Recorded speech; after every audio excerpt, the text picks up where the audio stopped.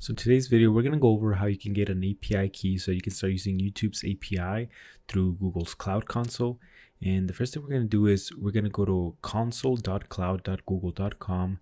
And from here, just assuming you're signed into your Gmail account, you'll be able to access this. If it's the first time you're accessing this, then it'll tell you to create an account. Once you're here in this homepage, you're going to select on this box right here depending on whether you've used this before. I had already created this, so I already had a test project on here, but you'll get the option to create a new project. So that's what we're gonna go ahead and do. So here for our new project name, we'll just call it YouTube API 1. We're gonna have an organization, so we'll leave that blank. Then after this, we'll click create. Here we can see that our project is loading up. And then when we see that little check mark, we're going to go ahead and select it again on this top left panel. So let's go to our YouTube API app and we're going to click enable. Once this finishes loading, we're going to go to our credentials section right here. And here at the top where it says create credentials, we're going to click that. And here you're able to select API key. Once you do that, you'll be able to get an API key. On there, you'll get access to an API key. So save that somewhere secure. Make sure you don't share that with anybody. As we move forward and work with different products from Google, this is going to be a similar process that we're going to have to go ahead and go through if we're trying to get API keys or we're trying to get